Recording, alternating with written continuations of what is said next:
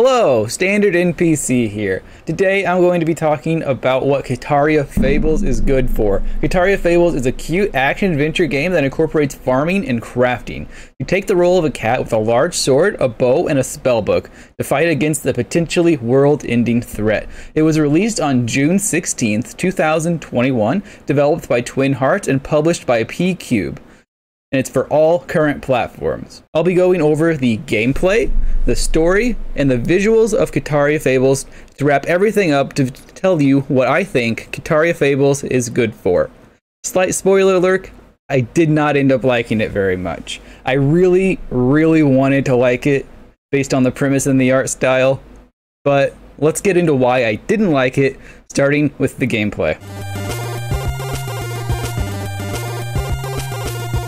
Overall, the mechanics in this game feel like a hollow shell of ideas that have seen success in other games, but the developers weren't able to quite understand what made those mechanics good and beloved in the first place. For example, farming games like Stardew Valley aren't satisfying due to the payout you get. It's rewarding because you can almost immediately reinvest those profits into the farm and continue improving, those mechanics are lost in Kitaria Fables. The only point in farming is to make money, to upgrade gear, to make combat less tedious. The combat in general isn't a challenge. Fighting things in action games are only rewarding if it presents a clear and fair challenge. The only challenge in this game is when the mobs cast a spell when they don't have an animation for that spell, and the projectiles blend in with the environment. Kitaria Fables manages to avoid the middle ground where combat is fun, and it either leaves it unfair or boring. The gameplay loop in general is not engaging or rewarding. Any progress that you make is immediately undone by unlocking new areas with new enemies that do more damage and have more health, essentially putting you back where you started. With poor fundamentals and an unfun gameplay loop, Kitaria Fables fails to impress when it comes to gameplay. Other games have done everything they're trying to do in this field way better. Story and world of Kitaria Fable is not engaging and it lacks a hook beyond you're a cute cat that owns a farm. Your actions carry little to no weight, and you have no motivation to progress the story forward. The general premise is that magic has been outlawed by the empire that you serve. You are one of the chosen ones, the few that are able to actually cast this outlawed magic. Darkness and malice have corrupted the world once in the past, and the Empire blamed it on magic and those that could use it. The truth, however, is that magic is the only thing that kept the Great Calamity at bay for all this time. Pretty standard fantasy stuff.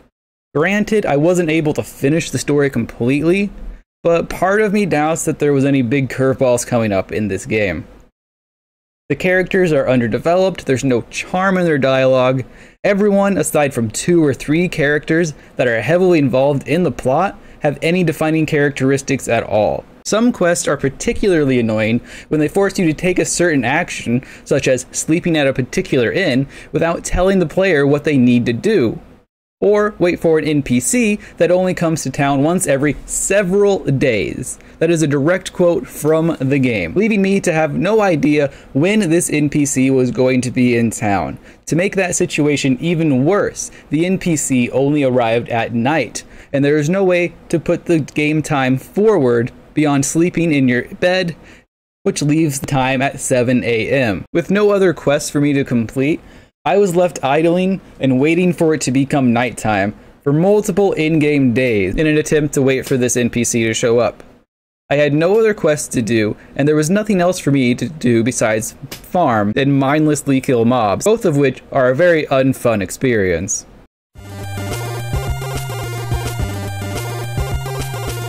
The game has one saving grace, it is the visuals. It is undeniably cute, and the concept is what kept me entertained and playing for as long as I did. The art style, combined with the cute concept of being a cat and casting magic and fighting with a sword, made me want to love this game. I've wanted to like this game since I heard it was coming out. This initial first impression did keep me happy and entertained for several hours.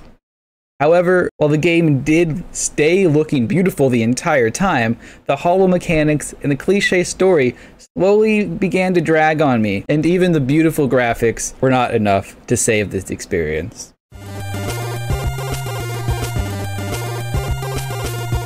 Kitaria Fables has been fairly well received by critics, but I cannot figure out why.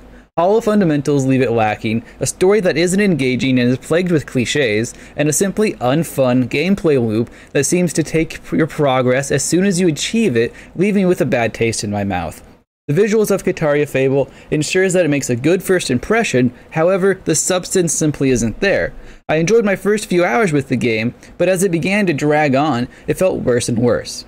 I wanted to like it. The art and the concept was all so cute, and I desperately wanted to try and find something I enjoyed about this game. Unfortunately, Kitaria Fables is good for absolutely nothing. I would not recommend this experience. Other games have done exactly what this game is trying to do, and they have done it better. Thank you so much for watching. If you enjoyed the content, please leave a like, and if you want more, go ahead and hit that subscribe button to keep it up to date on all of my uploads.